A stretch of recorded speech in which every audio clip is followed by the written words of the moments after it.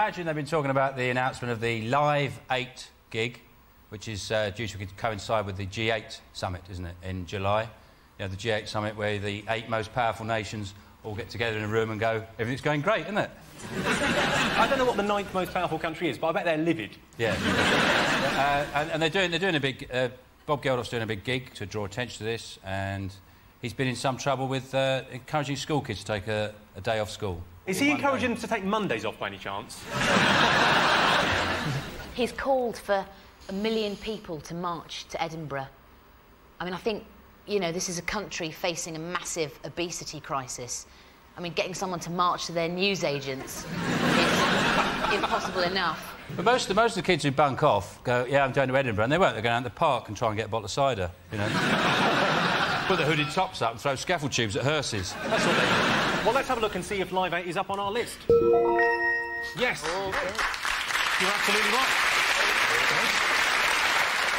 48% of people were talking about Live 8. It was a huge talking point this week. I don't know if you've seen the incredibly powerful commercial where a child dies every time famous people click their fingers. I couldn't help thinking, stop clicking your fingers. Last night I went to a restaurant. I killed two kids just getting the bill. It's been claimed this week that the Make Poverty History wristbands are made in China by children. Of course, they might not be children, they are a lot shorter over there. My brother had the anti-racism uh, wristbands, which is, you know, a black one and a white one. The black one fell off, um, so now he's a racist. Uh...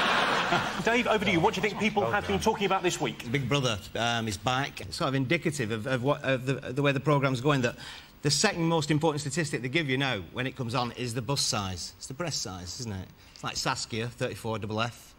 They don't do it for... they don't do it for the blokes, do they? They don't do Anthony, three and a half inches, on the slack.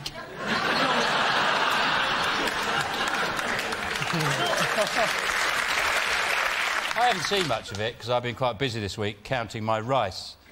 But the, the, bits I've seen, I mean, you, you, were talking there about the amount of large-breasted ladies. I was watching, I the sound down. It looked like Benny Hill made a rap video. fantastic. Well, let's have a look and see if Big Brother is on our list of the most talked about things this week. It is. Big Brother was always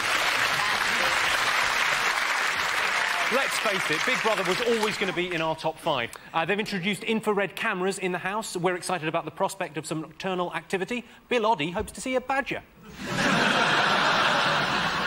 Sean, back over to you. What do you think the nation have been discussing this week? Well, Bumblebee crisis. What now? What? The Bumblebee...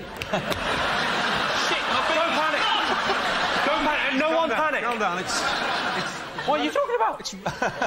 what Bumblebee crisis? You don't know. No. In the paper, when it says BB crisis, you know that's Big Brother, don't you?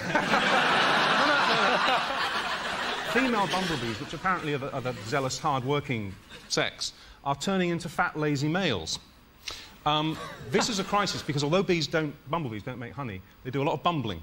And um, bumbling levels have reached a record low, and it is a, a real problem. So what you're saying is there's a lot of lady bees turning into lady boys? Exactly.